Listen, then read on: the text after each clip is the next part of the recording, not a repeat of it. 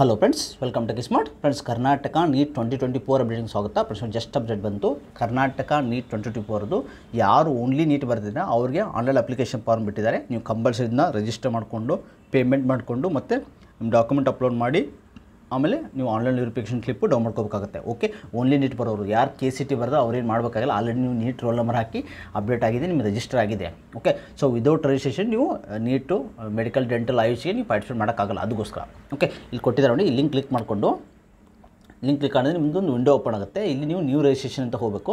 Okay documents ಏನೇನು ಬೇಕಾಗುತ್ತೆ ಅಂದರೆ ಟೆಂತ್ ಮಾರ್ಕ್ಸ್ ಕಾರ್ಡು ಟ್ವೆಲ್ತು ಮತ್ತು income certificate number R D number ಹಾಕಬೇಕಾಗುತ್ತೆ. ಹೈದರಾಬಾದ್ ಕೊಟ್ಟಾದ್ರೆ ಹೈದರಾಬಾದ್ ಕೋಟ ಮತ್ತು ಸ್ಟಡಿ ವಿವರಗಳಂದರೆ ನಿಮ್ಮದು ಒನ್ ಟು ಟೆನ್ನಲ್ಲಿ ಸೆವೆನ್ ಇಯರ್ ಸ್ಟಡಿ ಸರ್ಟಿಫಿಕೇಟ್ ಆಗಿರ್ಬೋದು. ಕನ್ನಡ ಮೀಡಿಯಂ ರೂರಲ್ ಮೀಡಿಯಂ ಇದ್ದರೆ ರೂರಲ್ ಮೀಡಿಯಂ ಬೇಕಾಗುತ್ತೆ. ಆಮೇಲೆ ನಿಮ್ಮ ಫೋಟೋ ಫಿಫ್ಟಿ ಕೇಬಲ್ ಇರಬೇಕು.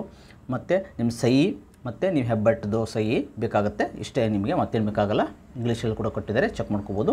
ನೀವು ಡೈರೆಕ್ಟಾಗಿ click here to new user ಇಲ್ಲ, ಇದು ಕ್ಲಿಕ್ ಮಾಡಿಕೊಂಡು ನೀವು ರಿಜಿಸ್ಟರ್ ಮಾಡಿಕೊಂಡು ಪೇಮೆಂಟ್ ಎಲ್ಲ ಮಾಡ್ಕೋಬೇಕಾಗುತ್ತೆ. ಅದು ಪ್ರೊಸೀಜರ್ ಯಾವ ರೀತಿ ಅಂತ ಹೇಳ್ತೀನಿ ನಿಮಗೆ. ಇಷ್ಟಿದೆ ನೋಡಿ.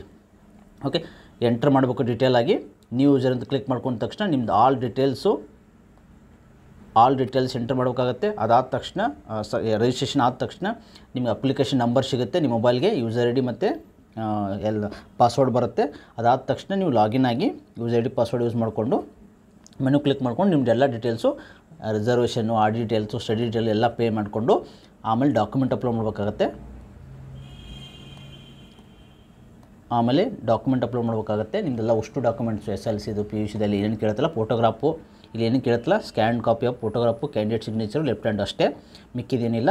ಅದಾದ ತಕ್ಷಣ ಆರ್ ಡಿ ನಂಬರ್ ಎಂಟರ್ ಮಾಡಬೇಕಾಗತ್ತೆ ಸ್ಟಡಿ ಡೀಟೇಲ್ಸು ಎಲ್ಲ ಕರೆಕ್ಟಾಗಿ ಕೇರ್ಫುಲ್ ಎಂಟರ್ ಮಾಡಿ ಓಕೆ ಅದಾದ ತಕ್ಷಣ ನಿಮ್ಮದು ಪೇಮೆಂಟ್ ಗೇಟ್ವೇ ಬರುತ್ತೆ. ಪೇಮೆಂಟ್ ಗೇಟ್ವೇ ಮಾಡಿಕೊಂಡು ಆಮೇಲೆ ಫೈನಲ್ ಪ್ರಿಂಟೌಟ್ ತೊಗೊಂಡ್ರೆ ಆಯಿತು. ಪೇಮೆಂಟ್ ಮಾಡ್ಕೋಬೇಕು, ಅದು ಎಷ್ಟು ಇರುತ್ತೆ ಅಷ್ಟು ಅಮೌಂಟ್ ಪೇಮೆಂಟ್ ಮಾಡಿಕೊಂಡು ಫೈನಲ್ ಟಿಕೆಟ್ ಪ್ರಿಂಟೌಟ್ ತೊಗೊಂಡು ಆಮೇಲೆ ನಿಮಗೆ ಅದು ವೆರಿಫಿಕೇಷನ್ ಮಾಡಿ ಆಟೋಮೆಟಿಕ್ ವೆರಿಫಿಕೇಷನ್ ಡೌನ್ ನಿಮಗೆ ಆಮೇಲೆ ಬಿಡ್ತಾರೆ ಲಿಂಕು ಆಲ್ರೆಡಿ ಬಿಟ್ಟಿದ್ದಾರೆ ಬಟ್ ಇದು ಆಲ್ರೆಡಿ ನಿಮ್ಮದು ವೆರಿಫೈ ಆದ ತಕ್ಷಣ ವೆರಿಫಿಕೇಷನ್ ಸ್ಲಿಪ್ ಬರುತ್ತೆ. ಓಕೆ ಸೊ ಇದು ಇದಿಷ್ಟು ಓನ್ಲಿ ನೀಟ್ ಬರೆದವ್ರದ್ದು ಕೆ ಸಿ ಟಿ ಬರೆದು ಆಲ್ರೆಡಿ ರಿಜಿಸ್ಟರ್ ಮಾಡಿದ್ದಾರೆ.